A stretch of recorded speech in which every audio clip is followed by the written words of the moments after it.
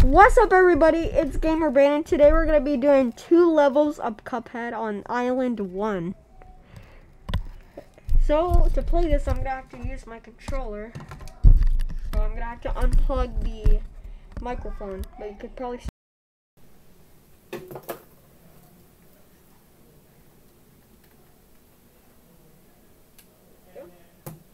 And let's get started. But first I'm going to turn off my camera, right?